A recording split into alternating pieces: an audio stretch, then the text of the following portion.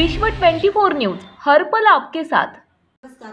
प्रथमतः दोनशे नव्याण्णव्या अहिल्यादेवी होळकरांच्या जयंतीनिमित्त सर्वांना शुभेच्छा देते. दोन हजार तेवीसमध्ये शासनाने एक जी आर काढला होता.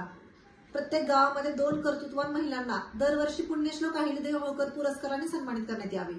परंतु काल अहिल्यादेवी होळकरांच्या जयंती दिवशी मी पाहिलं माहिती घेतली. उदाहरणार्थ इंदापूर तालुक्यातच बघा चार ते पाच ठिकाणी फक्त या पुरस्कारा पुरस्कार देण्यात आला आहे. मग बाकीच्या ग्रामपंचायतीने अडचण आली त्यांनी हा पुरस्कार का दिला नाही? मी त्यांना जाब विचारते. मी काही ग्रामसेवकांना कॉल केला होता. कुणी सांगितलं मी बाहेर आलोय कुणी सांगितलं दोन दिवसानंतर देणार आहे. शासनाने श्रीफळ शॉल रोख रक्कम पाचशे रुपये आणि शासकीय ट्रॉफी असा पुरस्काराचे स्वरूप होते. मग तुम्हाला तुमच्या घरचे द्यायचे होते का?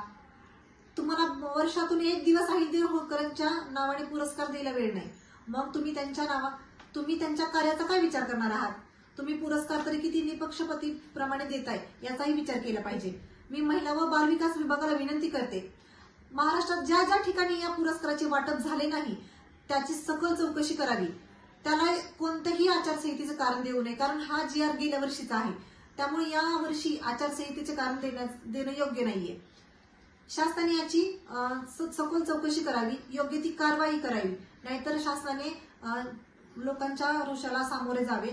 मी शासनाला विनंती करते की याची सखोल चौकशी करावी आणि योग्य ती कारवाई व्हावी. जय हिंद जय महाराष्ट्र जय अहिल्या. राज्यातील महत्त्वाच्या आणि आपल्या भागातील ताज्या बातम्या पाहण्यासाठी आजच आमच्या विश्व 24 न्यूज चॅनलला यूट्यूबवर सबस्क्राईब करा आणि बेल आयकॉन प्रेस करा.